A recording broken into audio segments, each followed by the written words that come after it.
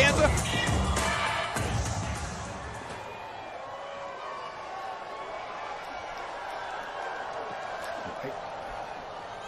I'm not here to confront you. I'm here to talk to you man to man, out of respect. And Ric, I'm here to tell you, you cannot go out there tonight and lay down for Triple H. I want you to hear me out.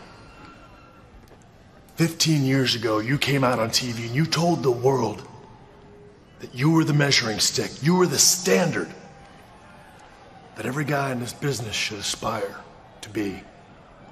And I heard that, and I went out and spent every day for the next 15 years trying to reach that level. And there's a part of me that likes to think that I did it.